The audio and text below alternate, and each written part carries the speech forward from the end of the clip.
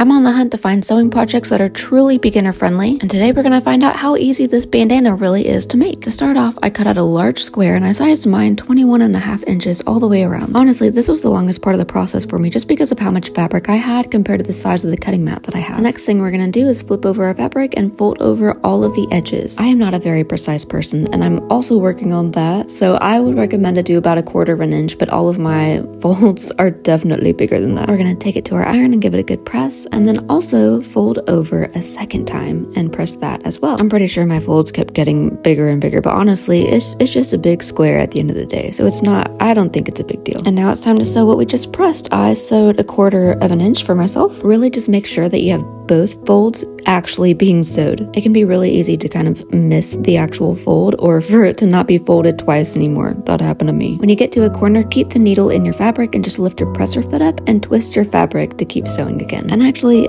that's pretty much it. Now we can turn our bandana into a little triangle by connecting two of the faraway corners to each other. And you can do so many things with this. I just stuck it on top of my head and wore it like a normal bandana where you tie both of the sides underneath your hair. As far as being beginner friendly, 10 out of 10, highly recommend if you're just practicing sewing and you can get a lot of cute stuff out of this project.